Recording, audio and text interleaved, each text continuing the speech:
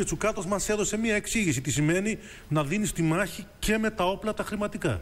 Δεν λέω ότι εξαγοράζεις ψήφους, ενώ ότι έχεις όμως απλόχερη προπαγάνδα. Α, 16 άρα δις, μπορεί και να χωρίς ξέρω υπέκλεψε πού. Όχι. εντός εισαγωγικών εννοώ την, το, την ετοιμιγορία του εκλογικού Όχι. σώματος με τα χρήματα Δεν αυτά τότε το υπέκλεψε, Πασόκ. απλώς δείχνει την, την κρατεά δύναμη ενός κόμματος εξουσίας με τα 16 δις αδήλωτα μαύρα χρήματα. Και αυτό είναι το πολιτικό θέμα. Βεβαίως τότε υπάρχει καθαρό αποτέλεσμα με 73.000 ψήφους, κέρδισε ο κ. Σιμίτης, αλλά όμως παραμένει σήμερα το βρώμικο που είναι τα 16 δις αδήλωτα μαύρα χρήματα. Το οποίο και το αποτέλεσμα κύριε φίλοι μετά από κάποιους μήνες μάθουμε ότι δεν ήταν τόσο καθαρό με τις δεκάδες χιλιάδες Ε, καλά, αυτό είναι- ελληνοποίησεις. Δεν απεδείχθη αυτό. αυτό δεν είναι Απεδείχθη και παραπεδείχθη. Πώς δεν απεδείχθη; Καλά. Τώρα, μιας και, το, μιας και το ανέφερε το θέμα έτσι, ξεκινούμε λίγο άναρκα τη συζήτηση, αλλά εμένα η αναρχία είναι μια δημιουργική κατάσταση και ενίοτε μου αρέσει. Λοιπόν, κύριε Κακλαμάνη, ε, ε, ο, ο, ο ΣΥΡΙΖΑ, τώρα και ο κύριος Φίλης το έβαλε το ζήτημα, ο ΣΥΡΙΖΑ σήκωσε αρκετά επικοινωνιακά το θέμα Τσουκάτου, το οποίο όντως είναι η πρώτη δημόσια ομολογία, εγώ δεν θυμάμαι άλλη, δημόσια ομολογία από στενό συνεργάτη Πρωθυπουργού που ήταν και επικεφαλής της συγκέντρωσης α, χρηματοδότησης για την προεκλογική καμπάνια ενός κόμματος που είπε ότι πήρε μαύρο παράνομο χρήμα όχι μόνο από τη Siemens αλλά και από πολλούς άλλους 12 δισεκατομμύρια δραχμές, τα άλλα 4 ήταν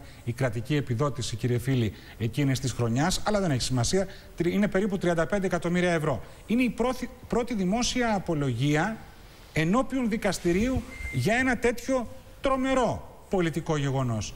Δεν το σήκωσε η Νέα Δημοκρατία Ή επαρκώς. το, κι- Γιατί; το κοινάλ το σήκωσε; Καλά, το κοινάλ Δεν έχει μιλάει, λόγους. Το ξέχασε. Έχει λόγους να Τον το Πολάκη ξεχάσει. θυμηθήκαν ξαφνικά. Ναι. Αυτό έγινε. Ναι, το κίνημα αλλαγής όμως εξηγείται, Η Νέα ερμηνεύεται. Δημοκρατία είναι πιο καθαρή, Η Νέα πιστεύετε; Δημοκρατία γιατί; Μήπως είχατε και εσείς ζητήματα τέτοια εκείνη την εποχή ή άλλες εποχές; Συγγνώμη, προφανώς δεν θέλω να μιλήσω για άλλους συναδέλφους μου. Εντάξει, δεν είμαι τόσο διάσημος, δεν με παρακολουθείτε. Όχι, εσάς σας παρακολουθώ Εγώ δεν είμαι Νέα ανελιπώς και Δημοκρατία, τι επισταμένος. είμαι; Είστε. Επομένως- Εγώ δεν είδα. Δε, μα είδα 30 ανακοινώσεις αυτές τις μέρες για το θέμα του Παύλου Πολάκη. Είδα τόσες ανακοινώσεις για άλλα ζητήματα. Η εκτίμηση δεν μου, είδα κύριε Κοτρότσο, είναι ότι- ένταση στην επικοινωνιακή εκστρατεία. Η για το θέμα εκτίμηση αυτό. μου κύριε Κοτρότσο είναι ότι το κόμμα ως κόμμα ορθώς έπραξε και δεν έβγαλε κεντρική ανακοίνωση. Διότι είναι μια δίκη σε εξέλιξη και όταν μια δίκη είναι σε εξέλιξη οποιαδήποτε ανακοίνωση που θα ήταν στο πνεύμα που εν πολύ συμφωνώ με αυτά που είπε ο κύριος Φίλης μπορούσε να θεωρηθεί και παρέμβαση στη δικαιοσύνη. Σε προσωπικό όμως Πάντως θα επίπεδο... μου επιτρέψετε, συγγνώμη που σας διακόπτω, να σας πω ότι όσα είπε ενώπιον του δικαστηρίου ο Θόδωρος Τσουκάτος για τις εκλογές του 2000 δεν αφορούσαν το κατηγορητήριο και τη δίκη. Η δίκη είναι η δίκη της Siemens για τα ψηφιακά του ΟΤΕ επί Siemens. Αυτό που είπε ο κύριος Τσουκάτος με αφορμή το 1 εκατομμύριο ευρώ η μάρκα Το που πήγε πήρε, παραπέρα. Έτσι, το πήγε παραπέρα. Συμφωνούμε. Και προκάλεσε. Γι' αυτό και της προκάλεσε και την εισαγγελίας. παρέμβαση Έτσι, της βεβαίως. εισαγγελέω του Αρίου Πάγου. Βεβαίως. Άρα θέλω να πω ότι δεν θα παρεμβαίνατε σε καμιά δίκη αν, βγάλατε, αν βγάζατε ανακοίνωση. Καλά, είναι μια άποψη αυτή. Και εγώ το είχα πάει και ακόμα παραπέρα σε δημόσιες δηλώσεις μου, ε, χωρίς να υπονοώ βεβαίως ότι μπήκαν λεφτά σε τσέπες και είπα ότι οκ, ο κύριος Τσουκάτος τα είπε, αλλά τότε υπήρχε ένας πρόεδρος του ΠΑΣΟΚ και πρωθυπουργός της Ελλάδος. Δηλαδή δεν είδε τίποτα, δεν κατάλαβε τίποτα, δεν γνώριζε τίποτα. Και είπα ότι νομίζω ότι πρέπει να ερευνηθεί το θέμα και να κληθούν όλοι να ρωτηθούν επ' αυτού, όχι ο κύριος Τσουκάτος μόνο. Και ο κύριος Σιμίτης θα έπρεπε να Μα το κληθεί στο είπα, το πλαίσιο είπα. μιας Ναι, τέτοιας μα, έρευνας. το, ένας ήταν ο αρχηγός τότε του ΠΑΣΟΚ και ο Ξεχνάτε Πρωθυπουργός ότι της υπάρχει Ελλάδας. σε συμβολογράφο. Άρα λέει ο κύριος Κακλαμάνη, συγγνώμη που διακόπτω, Ξεχνάτε, γιατί συγγνώμη. πρέπει να Ξεχνάτε καταγράφονται ότι υπάρχει σε- ότι στο πλαίσιο μιας τέτοιας έρευνας Ε, βεβαίως. θα έπρεπε να κληθεί Βεβαίως. και ο Κώστας Σιμίτης. Αυτό είναι Βεβαίως. υπεύθυνος τον άνθρωπος. Αυτός ήξερε το ταμείο. Είπα περισσότερο χωρίς από- να υπονοώ λαθροχειρία του ιδίου, αλλά, Αλλά για να πολιτικά μην τα δεν, λέμε έπρεπε, δεν μονόπλευρα. πρέπει να κληθεί. Υπάρχει κατάθεση του Μακαρίτη του Αλαφούζου, του Αριστίδη Αλαφούζου, όταν ζούσε το 1990-91, σε συμβολιογράφο που λέει ότι έδωσα τόσα λεπτά στο Μακαρίτη τον Μητσοτάκη. Ε, το, το ερεύνησε κανένας αυτό; Τίποτα. Ήταν τότε που έλεγε ο Μητσοτάκης για το θέμα της διαπλοκής, όπως θυμάστε. Mm-hmm. Το ρένιζε κανείς. Κανείς. Λέει, θέλω να πω, δεν πέφτουν τα σύννεφα. Το είπε βέβαια δυο... σε μια εποχή, κύριε φίλη, σας θυμίζω, που ο Κωνσταντίνος Μητσοτάκης είχε κηρύξει τον πόλεμο στο ναι, συγκρότημα. Αλλά, αλλά όμως, αν είναι συμβολογραφική, αυτό δεν το είπατε, αν, είναι, αν είναι συμβολογραφική κατάθεση, πας στο δικαστήριο. Γιατί λες, όλα ψέματα. Δεν το αφήνεις έτσι, να πέσει κάτω. Ναι, δεν ξέρω και λέω λοιπόν τώρα. Γιατί το λέω αυτό, για να μπλέξουμε με, με μακαρίτες προς Θεού.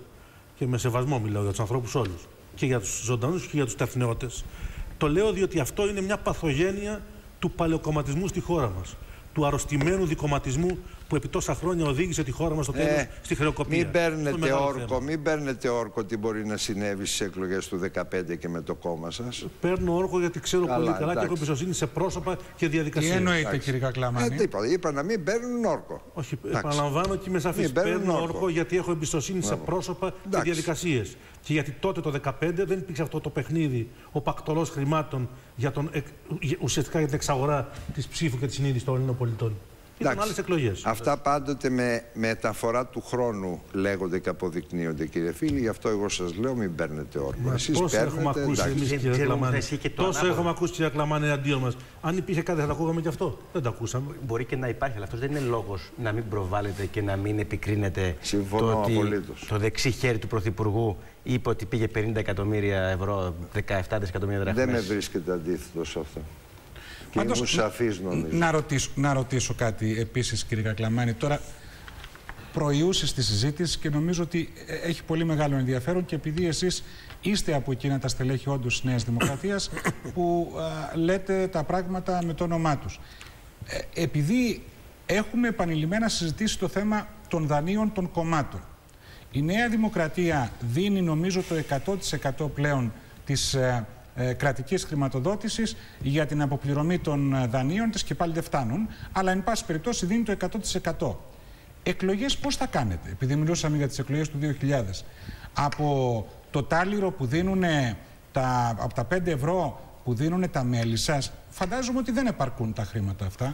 Νομίζω για κανένα κόμμα δεν επαρκούν. Και εγώ πάντοτε Συμφωνώ σε αυτό που λέτε. Για κανένα απολύτως. Ακόμα και για τα μικρότερα. Πολύ περισσότερο για τα δύο μεγάλα έτσι, και να μην κρυβόμαστε πίσω από το δάχτυλό μας. Απλά εγώ πάντοτε είχα το θάρρος και έλεγα ότι πρέπει για άλλα να κατηγορούμε τους Αμερικάνους. Είναι και μερικά πράγματα που θα έπρεπε να τους αντιγράφουμε τους Αμερικάνους.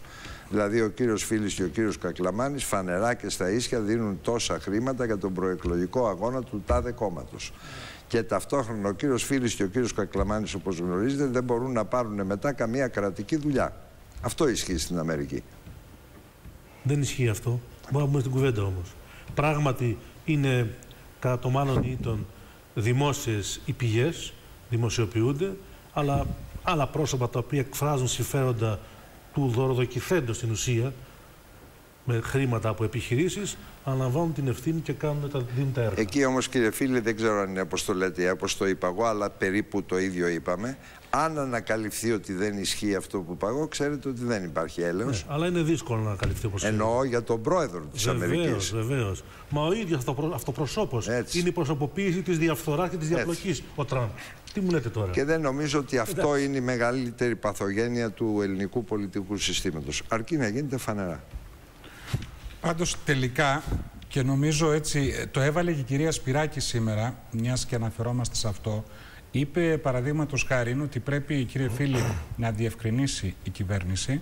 Φαντάζομαι απευθύνεται και στο Μέγαρο Μαξίμου αλλά και στον αρμόδιο υπουργό τον κύριο Χαρίτσι. Έχω τις δηλώσεις της μπροστά μου ότι πρέπει η κυβέρνηση να διευκρινίσει εάν α, πρώτον οι ημερομηνίες διεξαγωγής των α, αυτοδιοικητικών εκλογών και των ευρωεκλογών. Διότι η Νέα Δημοκρατία ε, έχει πληροφορίες ότι ενδεχομένως ενώ θα πηγαίναμε 26 Μαΐου στον πρώτο γύρο των αυτοδιοικητικών και στις ευρωεκλογές, ότι η κυβέρνηση σχεδιάζει να πάει στις 19 Μαΐου τον πρώτο γύρο των αυτοδιοικητικών και στις Αυτό 26 αλλαγή νόμου, τις ευρωεκλογές. Να τα βάλω όλα μαζί. Ναι. Το δεύτερο, ποσοστώσεις των γυναικών, στη συμμετοχή γυναικών στα ψηφοδέλτια, ότι α, λέει η Νέα Δημοκρατία, η κυρία Σπυράκη, ότι η κυβέρνηση σκοπεύει να ανεβάσει το, το ποσοστό, τον πύχη.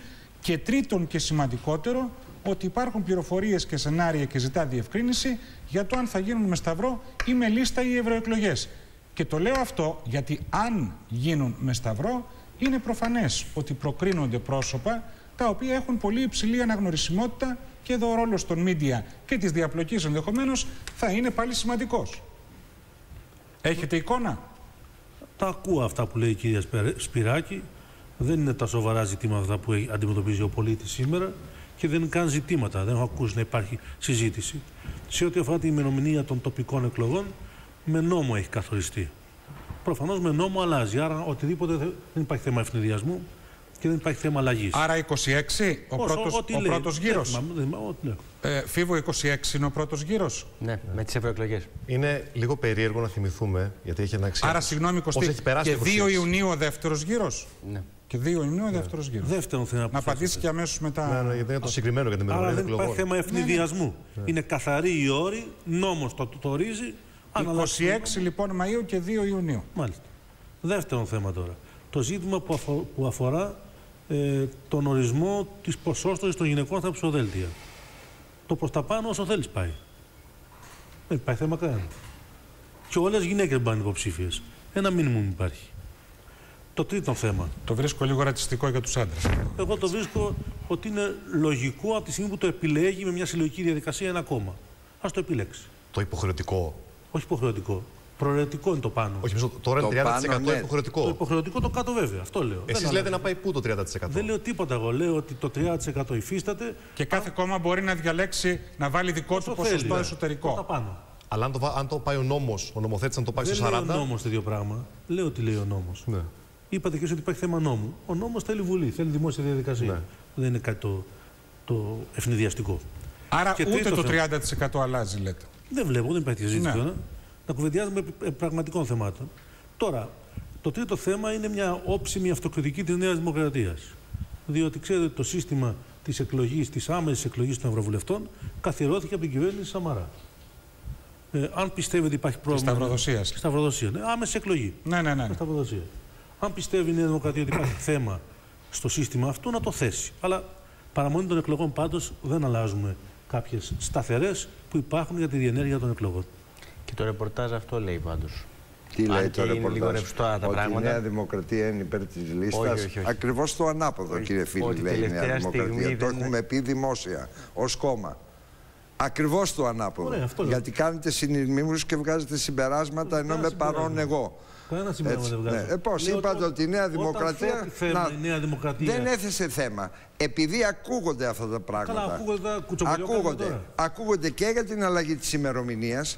Ακούστηκε για να είναι ο επικεφαλής του Ευρωψηφοδελτίου χωρίς σταυρό. Μετά ακούστηκε αυτό και θα υπάρξουν αλλαγές, κύριε φίλοι. Γιατί προείδρευα εγώ την Παρασκευή και ήταν ο κύριος Χαρίτσης και τον ερώτησα παραδείγματος χάρη αν ισχύουν οι πληροφορίες ότι θα σπάσουν κάποιοι Δήμοι. Και μου απήντησε ναι. Τι σχέση αυτό με Πώς δεν έχει; Καμία. 90 μέρες πρώτων εκλογών αλλάζει ο, ο, ο εκλογικός χάρτης; Δεν αλλάζει ο εκλογικός χάρτης. Πώς δεν αλλάζει; Δεν αλλάζει ο εκλογικός χάρτης. Αν τρεις τέσσερις δήμοι σπάσουν που λέτε. Δεν το ξέρω κι αυτό. Αλλά μιλάμε για τα μείζωνα. Και θέλω να διαβεβαιώσω λοιπόν στην κουβέντα μας ότι η κυβέρνηση δεν έχει καμία μα καμία. Γιατί πρόθεση, δεν απαντάει η κυβέρνηση; Μα έχει απαντήσει. Όχι, δεν έχει απαντήσει σε κανένα από τα ερωτήματα μα μόλις που ψήφισε, ψήφισε τον νόμο με τον οποίο ορίζεται η ημερομηνία των εκλογών, των βουλευτικών εκλογών, των δημοτικών εκλογών. Ωραία. Να βγει και να πει αυτό που λέτε εσείς με παρησία απόψε. Ωραία. Ο αρμόδιος υπουργός να βγει και να απαντήσει στη Νέα Δημοκρατία ότι με ρωτάτε αυτό, δεν θα γίνει. Με ρωτάτε το δεύτερο, δεν θα γίνει. Με ρωτάτε το τρίτο, δεν θα γίνει. Ωραία. Γιατί τόσο δύσκολο ήταν; Γιατί δεν βγήκε να απαντήσει; Αυτό εμένα με βάζει σε υποψία ότι υπάρχουν δεύτερες σχέσεις. Να πάμε σε θέματα τα οποία είναι εξίσου περισσότερο σοβαρά να πάμε, για τον πολίτη. Να πάμε, βεβαίως και για τον πολίτη. Πάμε τώρα, λοιπόν. Και οι εκλογές είναι σοβαρό είναι θέμα και, και αφορά τον πολίτη και κατεξοχήν. Δεν, και δεν αλλάζουν οι συνθήκες και οι όροι. Εμάς, τον πολίτη αφορά. νομίζω, νομίζω ότι ήταν σαφής ο κύριος Φίλης και πάμε λοιπόν τώρα. Και εξίσου σαφής και εγώ στην αφιβολία του.